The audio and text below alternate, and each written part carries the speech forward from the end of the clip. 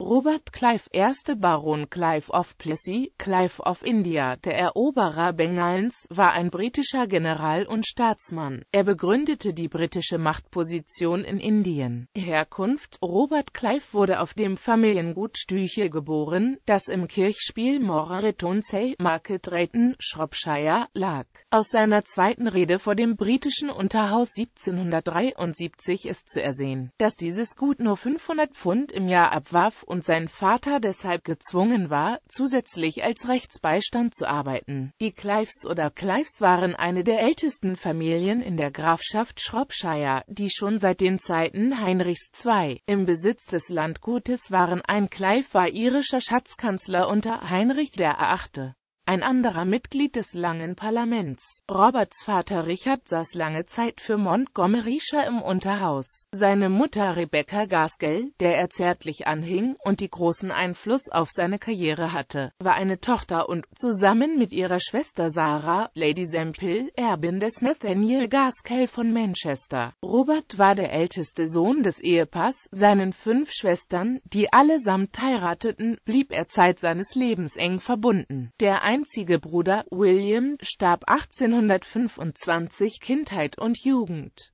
Robert Clive galt als schwieriger Schüler. Er war der Schrecken seiner Lehrer und wurde von Schule zu Schule geschickt. Unter anderem besuchte er auch die renommierte Merchant Taylors School in Northwood, London. Er vernachlässigte aber seine Studien und stürzte sich lieber in vielfältige, manchmal gefährliche Abenteuer. So ungebildet, wie seine frühen Biografen behaupten, kann er allerdings nicht gewesen sein. Denn er las in seinem späteren Leben Horaz und muss auch in seiner Jugend den Grundstock Stock für seinen klaren und energischen Stil gelegt haben, der alle seine Depeschen auszeichnet. William P.T., der ältere Lord Chatham, erklärte eine von Clives Ansprachen im Parlament zu der wortgewandtesten Rede, die er je gehört habe. Schon seit frühester Jugend war es Clives Ziel, der Anführer seiner Kameraden zu sein. Auch sein Gefühl für Irre, wie man sie damals verstand, war sehr ausgeprägt. Die ersten Jahre in Indien. Im Alter von 18 Jahren trat er als Schreiber D.H. als Sekretär in den zivilen Dienst der East India Company, um sich seinen Lebensunterhalt zu verdienen, und wurde nach Madras, dem bedeutendsten britischen Stützpunkt im Norden Pondichéris gesandt. Da sein Schiff neun Monate in Brasilien Aufenthalt hatte, nutzte er die Gelegenheit, Portugiesisch zu lernen. Wie sich später herausstellte, war dies eine Fähigkeit, die in einer Zeit, in der sich kaum einer der Kompanienangestellten die Mühe machte, die verschiedenen Sprachen in Indiens zu erlernen, von großem Nutzen war. Die ersten zwei Jahre seines Aufenthaltes in Indien waren nicht sehr angenehm für den jungen Mann. Er litt unter dem Klima, starkem Heimweh und den Einschränkungen, die den jüngeren Schreibern der Ostindien-Kompanie auferlegt waren. Auch lag er ständig im Streit mit seinen Kollegen, mit einem duellierte er sich sogar. Es zeigten sich früh die ersten Anzeichen der Depressionen, unter denen er sein ganzes Leben lang litt und unter deren Einfluss er schließlich seinem Leben selbst ein Ende setzte. Einer seiner Kameraden berichtete später, Clive habe zweimal erfolglos eine Pistole an seinem Kopf abgedrückt.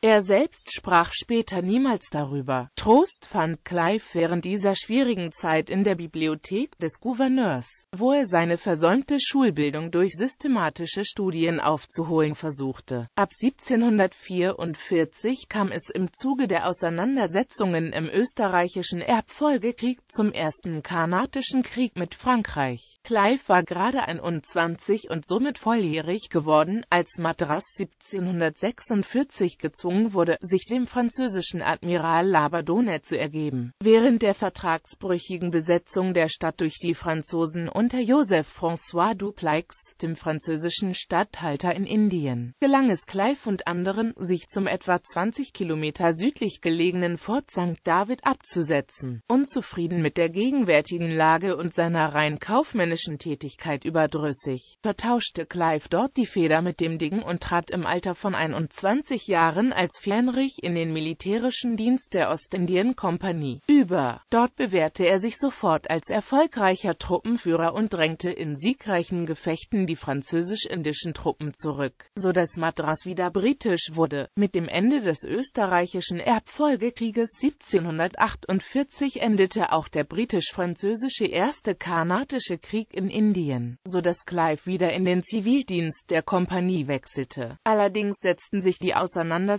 zwischen der französischen und britischen Kompanie fort, so dass 1750 Clive in den Militärdienst zurückkehrte, und zwar aufgrund seiner bisherigen Verdienste als Hauptmann und Proviantmeister der Truppen der Kompanie. 1751 kam es zum Zweiten Karnatischen Krieg, in dem Clive mit seiner britisch-indischen Truppe sofort Arkot eroberte und die anschließende Belagerung erfolgreich abwehrte. Mit weiteren Siegen führte er den Feldzug erfolgreich fort, was zum Ende der französischen Herrschaft in Südindien beitrug. Die durch die Siege gewonnenen Beutegelder wurden verteilt, so dass Clive ein vermögender Mann wurde und eine Schwester des königlichen Astronomen und Mathematikers Neville Maskelyne heiratete. Allerdings hatte seine Gesundheit so gelitten, dass er 1753 mit seiner Frau als hochgeschätzter General nach England zurückkehrte. Dort wurde er 1754 ins House of Commons gewählt, verlor aber den Sitz sogleich durch eine Parteiintrige. Zweiter Aufenthalt in Indien Ausbau der britischen Herrschaft. Mitte des 18. Jahrhunderts war der indische Subkontinent nach Ansicht der Chronisten zu Anfang des 20. Jahrhunderts eine leichte Beute für einen Eroberer, der die Entschlossenheit eines Soldaten mit den Fähigkeiten eines Administrators in sich vereinte. In den 40 Jahren nach dem Tod des Großmoguls Aurangzeb 1707 war das Riesenreich schrittweise zerfallen und die Macht in die Hände seiner Vizekönige oder Supadas gelangt. Die drei mächtigsten unter ihnen waren der Naisem von Dekkan, der von Hyderabad aus regierte, der Nawab von Bengalen, dessen Hauptstadt Murshidabad war, und der Nawab oder Wesir von Awadh in Lucknow. Diese instabilen Verhältnisse und das Machtstreben der indischen Fürsten machte sich der französische Statthalter Dupleix, der ein fähiger Administrator, aber kein Soldat war, zunutze, um seinen eigenen Machtbereich auf Kosten des britischen auszudehnen. Infolge der Unfähigkeiten der lokalen Vertreter der britischen Kompanie wurde die Lage so bedrohlich, dass Clive zur Hilfe gerufen und 1755 erneut nach Indien entsandt wurde. Dort ergriff er sogleich erfolgreiche Gegenmaßnahmen, sammelte Truppen und eroberte die Piratenfestung Geria. In der Schlacht bei Plessy führte er 1757 die Streitkräfte der britischen Ostindien-Kompanie zum Sieg über jene des Sirayuddin-Daula, des letzten unabhängigen Nawabs von Bengalen. Die Schlacht von von Plessy wird als der Beginn der britischen Herrschaft in Indien betrachtet, indem sie die Rückgewinnung Kalkuttas sowie die Eroberung und dauerhafte Besetzung Bengalens ermöglichte. Auch konnte Clive einen Angriff der niederländischen Ostindien-Kompanie erfolgreich abwehren. Schrittweise dehnte Clive in drei großen Provinzen die britische Vorherrschaft gegen den französischen Einfluss aus. Aber sein besonderes Verdienst liegt in der Fähigkeit und der Weitsicht, mit der er die reichste Provinz Bengalen für die britische Krone erwarb. Durch die hohen Siegesgelder vermehrte er sein Vermögen enorm, ohne seine übermächtige Stellung ungebührlich auszunutzen. 1760 kehrte Clive nach England zurück und wurde von König Georg III. empfangen. Clive wurde der Titel Baron Clive von Plessy sowie die irische Peerswürde verliehen, und er erwarb Ländereien in den Countys Limerick und Clare in Irland.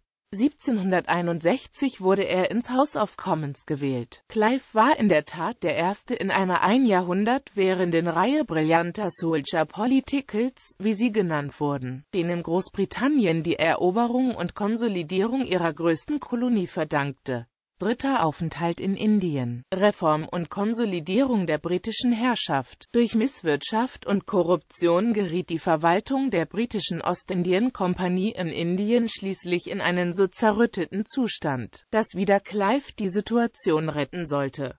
Er wurde zum Gouverneur und Oberbefehlshaber der britischen Besitzungen in Bengalen ernannt. Vor seiner Abreise ließ er sich jedoch noch zu einem der Direktoren der Ostindien-Kompanie wählen, um sich gegen heimische Intrigen schützen zu können. Im Mai 1765 reiste er nach Kalkutta und führte bis 1766 durchgreifende Reformen des Zivildienstes der Ostindien-Kompanie durch. Insbesondere setzte er für alle Bediensteten das strikte Verbot durch Geschenke Geschenke anzunehmen, und sorgte gleichzeitig für eine ausreichende Bezahlung der Bediensteten. Wegen seiner angegriffenen Gesundheit kehrte Clive Ende Januar 1767 endgültig in seine Heimat zurück. Sein Vermögen hatte sich inzwischen verdreifacht. Dadurch und durch seine Reformen in Indien hatte er sich viele Feinde und Neider gemacht, die 1772 eine Parlamentsuntersuchung der Aktivitäten der Ostindien-Kompanie initiierten. Eine Verurteilung Clives wurde schließlich doch abgelehnt, so dass Clive als hochgeschätzter und anerkannter Vertreter der britischen Interessen aus diesen Untersuchungen hervorging. Zu den Zimmern, die im 18. Jahrhundert hinzugefügt wurden, gehören Unterkünfte für die Bediensteten und ein Ballsaal. Clive befand sich im Besitz ungeheurer Güter, unter anderem der Riesenschildkröte Edweiter, doch wurde er ihrer nicht froh. Sein Gemüt verdüsterte sich, und er ergab sich dem Genuss von Opium. Er starb am 22.